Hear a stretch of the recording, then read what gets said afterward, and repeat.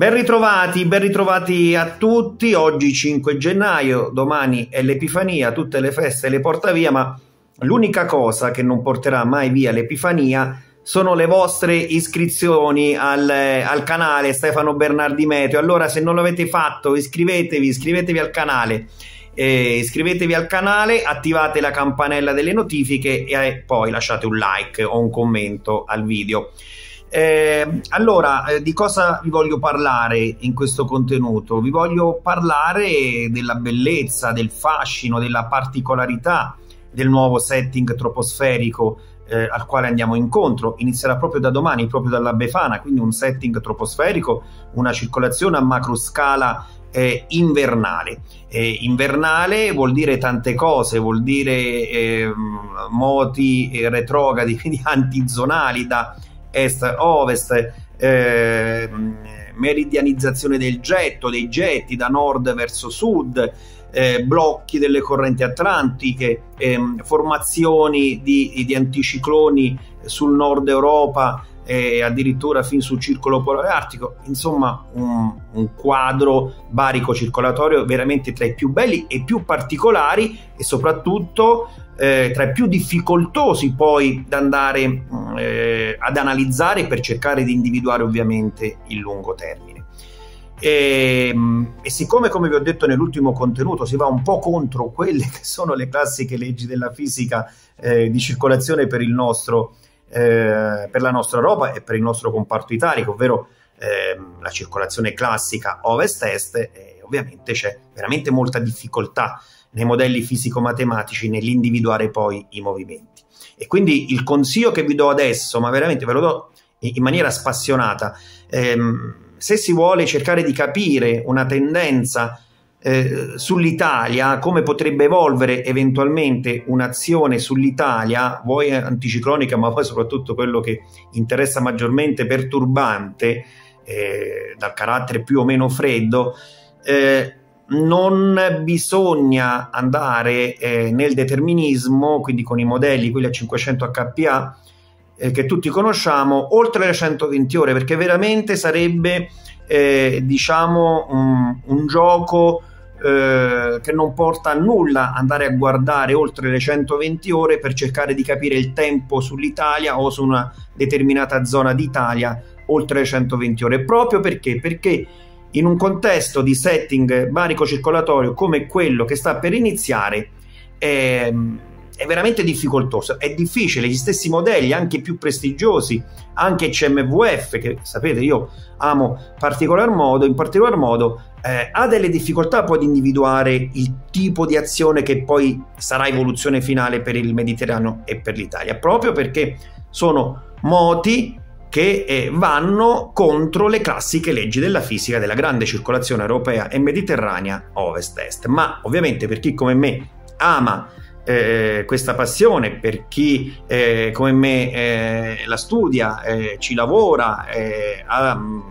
insomma delle collaborazioni importanti per, con i media anche a, a livello nazionale, per me è uno spasso, è veramente eh, bello addentrarmi in queste dinamiche e cercare di capire quello che può accadere già entro le 120 ore, figuriamoci dopo. Innanzitutto il primo step previsionale è ormai un dato di fatto, ci sarà, si sta formando la bassa pressione, eh, questa bassa pressione inizialmente sarà più mitigata, ma poi vedete domenica eh, sarà in forte azione questo centro di bassa pressione sull'Italia e inizierà anche a richiamare delle correnti via via più fredde. Eh, arriverà, sta tornando, ma arriverà molta neve sulle Alpi, ma anche sull'Appennino, l'Appennino centrale tra sabato e domenica mh, mm, e occhio per quanto riguarda ad esempio l'Appennino abruzzese dove eh, come altre regioni c'è estremamente bisogno ecco, di neve eh, a quote impianti per capirci, eh, occhio a domenica perché domenica potrebbe essere una giornata importante per riportare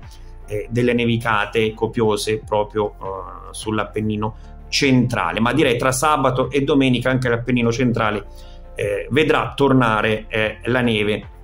a quote anche interessanti, soprattutto nella giornata di, eh, di domenica. Poi questa bassa pressione nel suo lento colmamento però rimarrà comunque centrata anche ad inizio settimana mh, questa bassa pressione seppur sul sud Italia però posizionandosi al sud Italia nella sua fase di colmamento riuscirà a richiamare correnti più fredde anche artiche verso l'Italia, quindi soprattutto il centro-nord, soprattutto il centro-nord, poi il versante adriatico e poi tutto il nord in generale. Nella giornata di lunedì eh, eh queste zone, le regioni di queste zone saranno investite da correnti particolarmente fredde e quindi ecco che eventualmente l'instabilità che si potrà creare nella giornata di lunedì, parliamo di stabilità, ripeto, sulle regioni centro-settentrionali, eh, soprattutto quelle del versante adriatico, e poi ovviamente anche sull'estremo nord-ovest, proprio per impatto della circolazione, si potrebbe avere qualche nevicata fino a quota, fino a quote molto basse. Ecco, lo vedete insomma il freddo che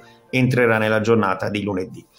Tornando invece proprio al discorso eh, di questa particolarità dei, del setting circolatorio tipicamente invernale, perché vi ho detto che mm, è, è, veramente un gioco eh, che non va fatto quello andare a cercare di capire il tempo solitario oltre le 120 ore. Perché? Perché con i moti retrogradi, con l'antizonalità, con i, i moti eh, eh, diciamo meridiani nord-sud,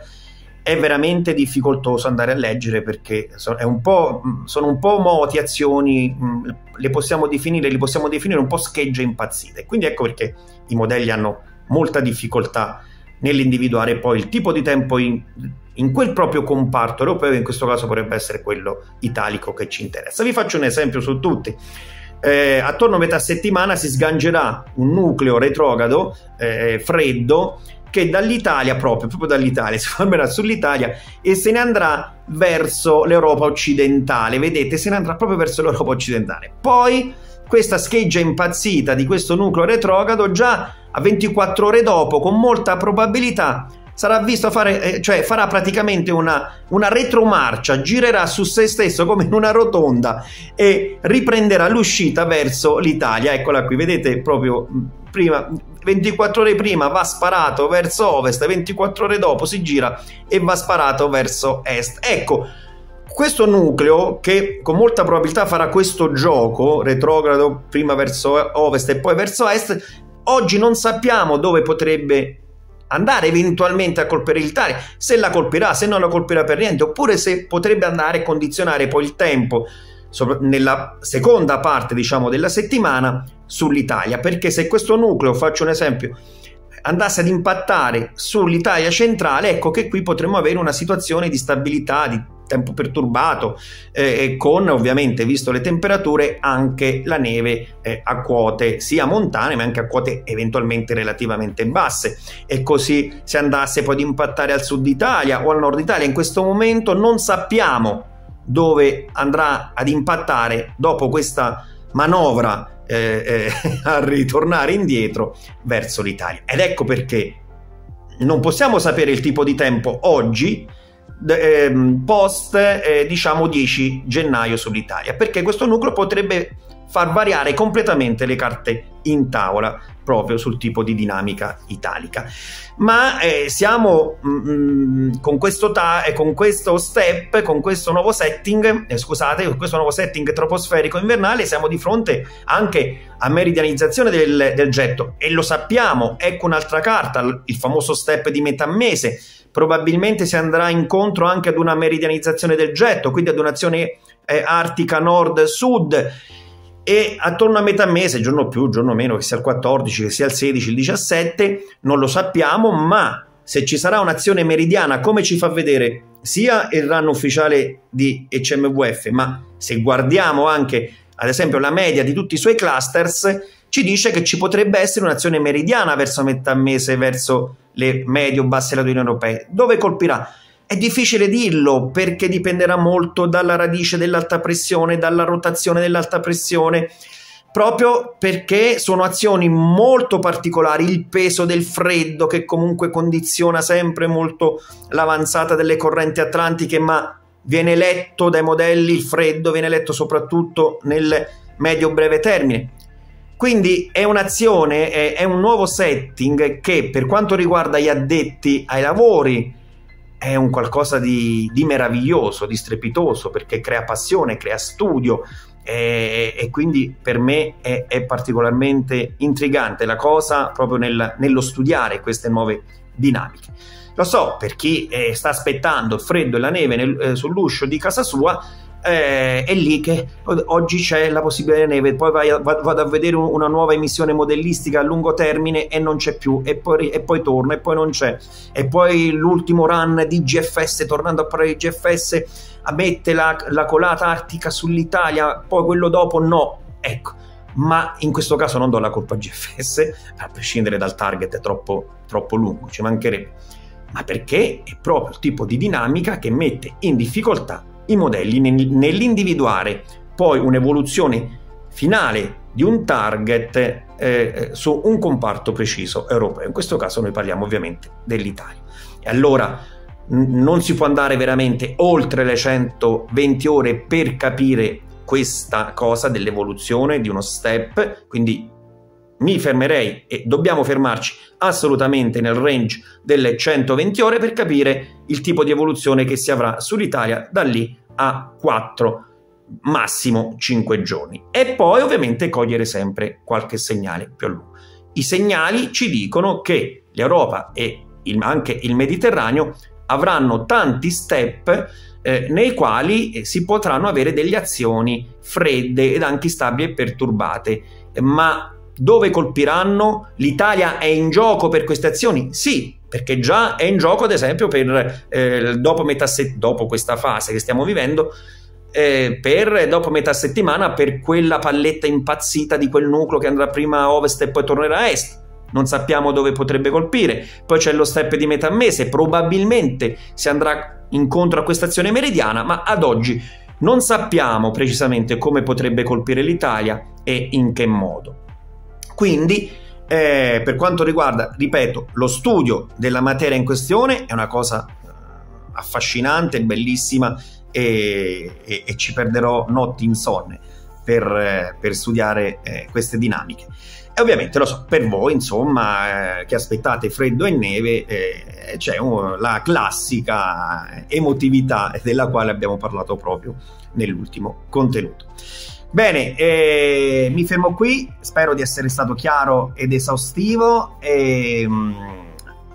innanzitutto viviamoci questo primo step, eh, che è molto importante, ripeto, soprattutto per il ritorno della neve su Alpi, ma le Alpi in, su molte zone insomma non, non, c'era mancanza, anche se in alcune sì, e, ma soprattutto sull'Appennino e questo è uno step molto importante.